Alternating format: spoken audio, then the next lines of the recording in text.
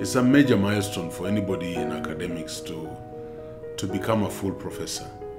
And uh, you owe it to the world to tell the world why you are a full professor.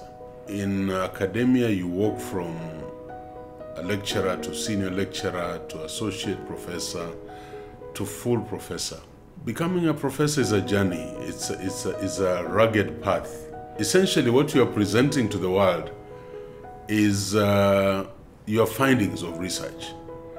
And it is expected that will be a book uh, published. So, all the works I've done on mixed methods, I've uh, turned them into a book. It will be published and it will be available uh, during that day. So, I'll be actually articulating the contents of that book and allowing for debate and reaction. First of all, my area of uh, specialization, my area of endeavor is research methods. And I've done a lot of work in research, and that means I've looked at qualitative, I've looked at quantitative methods deeply, and uh, I've had the courage to jump and get into the area of uh, mixed methods. So we will be engaging with uh, the paradigm of mixed methods in this inaugural lecture.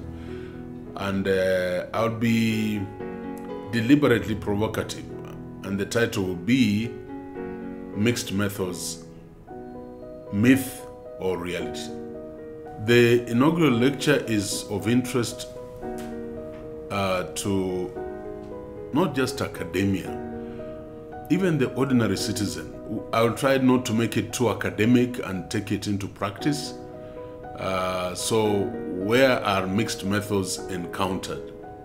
For example, um, and how are they used in practice? So, I expect my students, first of all, undergraduates and uh, graduate students to attend. I expect uh, fellow uh, faculty.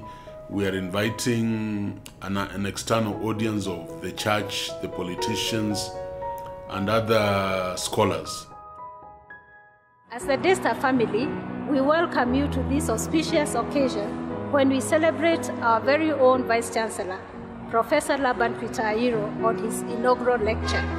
It's an opportunity to engage, connect academically, and to enjoy ourselves. You can follow us on our social media platforms. Karibuni sana.